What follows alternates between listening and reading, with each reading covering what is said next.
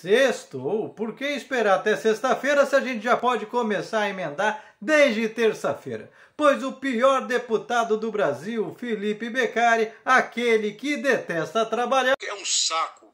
Eu não aguento ficar um, uma hora naquele plenário. 30 segundos eu fiquei lá, eu 40, 30 segundos. Eu já ouvi essa besteira do deputado. Justo hoje que estourou mais um escândalo envolvendo seu nome e mau uso de dinheiro público, resolveu dar aquela esticada básica e não apareceu para trabalhar na Câmara dos Deputados numa das terças-feiras mais agitadas do Congresso nesse ano, onde a gente teve audiência com o Banco Central lá do Campus Neto, nós tivemos audiência na, nos direitos humanos para tratar de um assunto que ele disse que estava sendo interessado, trabalho escravo, nós tivemos audiência na cultura. Na cultura, onde ele é vice-presidente, como o atual presidente está em missão oficial, ele deveria presidir, mas ele não apareceu na sessão, assim como também não apareceu na sessão de segurança pública e principalmente na votação dessa coisa muito importante.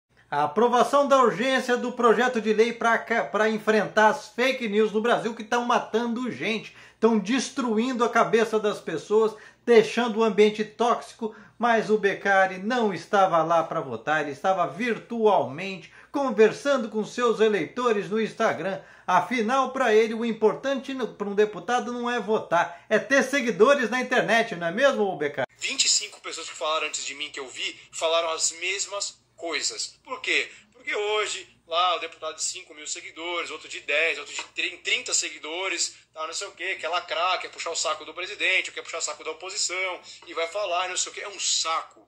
É, trabalhar é realmente um saco mesmo. Tem que estar tá lá, prestar atenção, ler projeto, votar, defender, como faz o Janones, que tem muito mais seguidores que você, mas estava lá lutando pelos interesses do país. Mas calma, eleitores do fandom do rapaz. Ele faltou por uma causa muito nobre. Né? Fizemos a nossa parte. Não podia deixar ela ali, gente, no meio da rua, no meio da avenida, cara. Tava frio pra caramba.